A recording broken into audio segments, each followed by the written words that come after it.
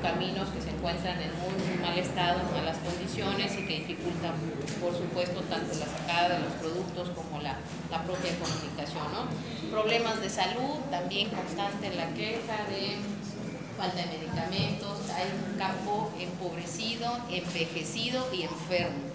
Lamentablemente, muchos de los, de los ciudadanos con los que hemos platicado es gente de la tercera edad, con muchas carencias, sin una pensión, sin un apoyo y que están enfermos y con poca atención una atención de muy baja calidad en la salud. Eso en demandas generales de servicios, sobre todo en, donde, en, las zonas de concentración urbana, eh, falta de drenaje, problemas con agua. En Tolucero son los municipios que enfrentan ya eh, carestía en, en, el agua, eh, falta de luminarias, drenaje sanitario y que eso se repite en muchas de las, de, decía yo, de las colonias o de los pueblos con una concentración urbana importante. Eh, eh, bueno, muchos empresarios medios, pequeños, comerciantes pequeños, que también, eh, pues, sobre todo lo que están pidiendo es que se reactive la economía local, que pueda ellos tener eh, mayores ingresos a partir que la gente compra en sus en las tiendas, que compran los comercios locales.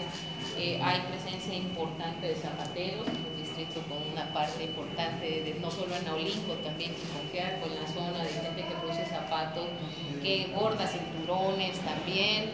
Decía yo, una, amplia gama no solo de, de, productores campesinos, sino también de artesanos, pequeños empresarios que, que luchan todos los días por sacar adelante sus negocios.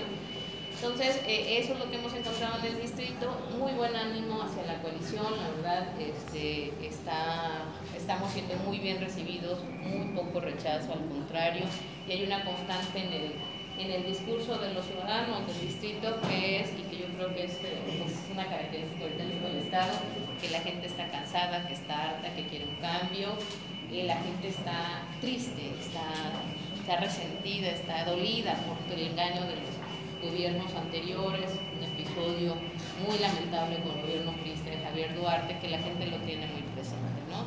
Eh, un, eh, un empobrecimiento que se ve, hay municipios de alta y muy alta marginación dentro del distrito y que es visible y que tienen que ver con las malas políticas tanto de los gobiernos eh, federales y estatales de los últimos años y que la gente lo percibe y hoy dice ya, basta, vamos por otra una opción diferente y están viendo en la, en la coalición, en los candidatos, por supuesto en el candidato presidencial, eh, Andrés Manuel López Obrador de la coalición, la oportunidad real de llevar otro proyecto nacional. Y lo que hemos estado haciendo como candidata de la coalición, Morena PT y PES, es recorrer casa por casa. Una de las características de estas campañas es justo a presentarnos a los domicilios de las personas que muy amablemente nos reciben. El ánimo eh, hacia la coalición está muy alto y hemos eh, presentado nuestras propuestas, pero también escuchado eh, con las demandas, el sentir de la gente en estos recorridos, donde ha habido oportunidad de platicar. una reunión lo hemos hecho, pero básicamente hemos ido caminando.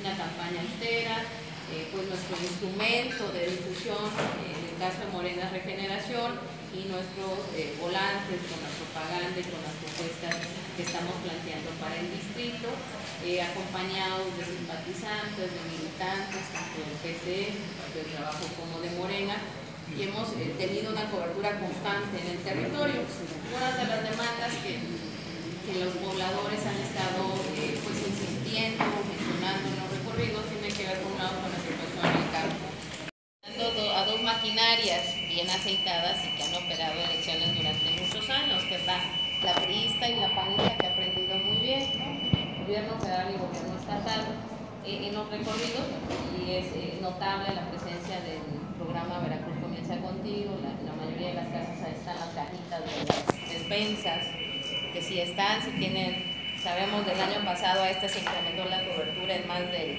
del 100%, y un padrón que, que rebasa los 600 mil beneficiarios y que ya no están recibiendo solo la, la caja con la despensa, sino una tarjeta de Chedraui que pueden surtir en algún momento parte de la despensa. Eso nos enfrentamos. Y si fuera un programa como lo es con recursos públicos, eh, dentro de una política social no tendría problema, pero es un programa que está siendo usado para ecuacionar a la gente, para condicionar de alguna manera el voto. Entonces está identificado, hay que hacer trabajo eh, para orientar a la gente, son recursos públicos, no son ningún, no es ningún favor del gobierno, mucho menos, eh, pues, digamos, el, mecanismo para comprar o para que la gente comprometa su voto. Hay que estar al tanto, hay que hacer las denuncias pertinentes si lo encontramos, ¿no? Pero está, está sobre todo, es lo más visible, ¿no? Este tema de las despensas y de Veracruz comienza contigo. Y en el caso del PRI, em, a lo mejor tienen menos dinero para operar y tienen menos presidencias municipales para operar.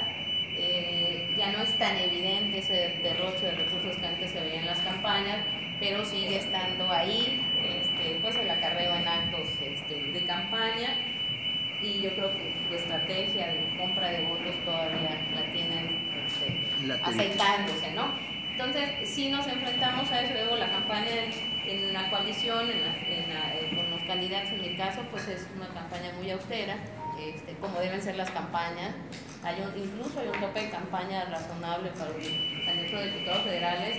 Ahorita con lo que aprobó el OPLE se dispara para los candidatos a, las diputaciones locales. Es ilógico, no se explica. El caso de nosotros es caminar, es convencer, es platicar mucho con la gente. Eh, por supuesto que no usamos ningún método de coacción, de compra, ni, mucho menos estamos en contra, pero sí estamos enfrentando a dos maquinarias que están ahí, que muchos años, por muchos años han ganado elecciones de esa manera. La tan alta que hay hacia él, pues por supuesto que ayuda a todo, ¿no?